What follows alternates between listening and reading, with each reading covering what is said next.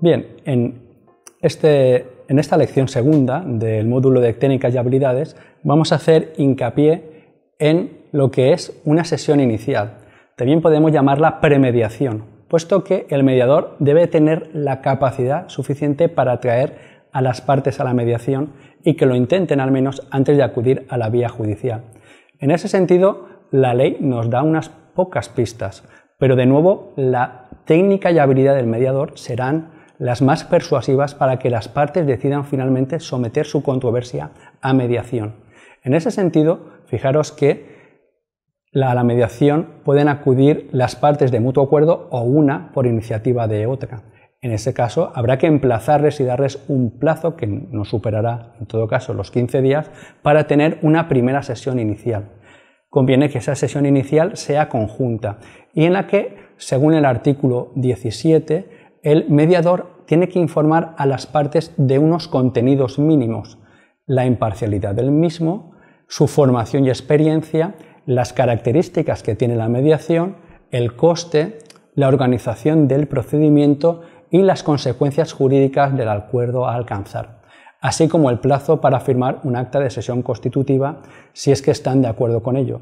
Insisto, será esa acta de sesión constitutiva la que marcará el inicio definitivo de la mediación. Pero, ¿cómo sería una sesión informativa previa? Tenéis que tener en cuenta que aunque vosotros una vez hayáis cursado este curso, seréis expertos en mediación, para las personas que se acercan a la mediación es un gran desconocido y que entre todo tenemos que hacer cultura de mediación. El mediador el primero.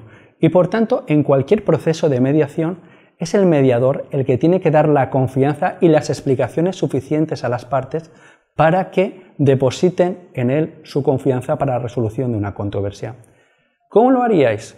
Bueno, nuestro sistema de evaluación está pegado a un test, pero yo sí que os pediría que pensaseis cómo haríais esta sesión inicial, desde cómo os vais a sentar, cómo vais a integrar a las partes, cómo vais a favorecer un espacio de integración de acuerdos y sobre todo cómo vais a explicar lo que es la mediación.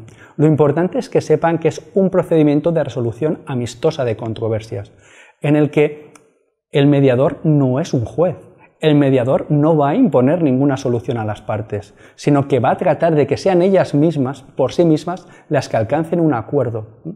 Y va a adoptar un plano, en principio y aparentemente secundario, aunque todos sabemos que tiene un protagonismo principal. Hay que dar confianza a las partes y explicarles el deber de confidencialidad. Deben de saber que todo lo que allí se discuta o se hable quedará en secreto y que nadie, ni las partes, ni el mediador romperán nunca ese secreto que además está guardado, custodiado, por la propia ley con ese deber de secreto. Y sobre todo, cómo se va a estructurar el proceso de mediación. Aquí hay una amplia libertad para formalizar un proceso. Deberéis ser vosotros los que en atención a las peculiaridades del conflicto de las partes, que pueden ser dos o varias articularéis un mecanismo de sesiones, a veces conjuntas, a veces individuales, con un proceso flexible adaptado a las circunstancias de las personas, del tiempo y del lugar, para conseguir, en última instancia, alcanzar un acuerdo. Será importante que deis cuenta de vuestra formación. Si sois mediadores, que estáis inscritos en el registro de mediación. Si tenéis, como es obligatorio para estar en ese registro, un seguro de responsabilidad civil que avale vuestra actuación y sobre todo vuestra capacitación. Este MOOC por ejemplo, es un ejemplo de curso de especialización en materia de, mediación y lo podéis hacer valer, puesto que os da ya una experiencia respecto del proceso de mediación.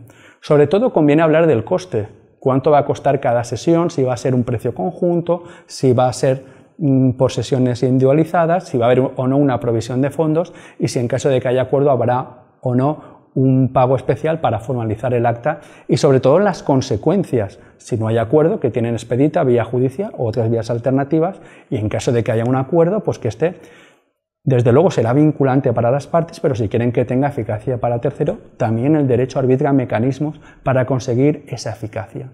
En definitiva, me gustaría que pensáis en vuestro interior cómo haríais cada una de las sesiones de mediación, teniendo en cuenta siempre que para las partes el proceso de mediación es un gran desconocido y que vosotros sois su mejor embajador.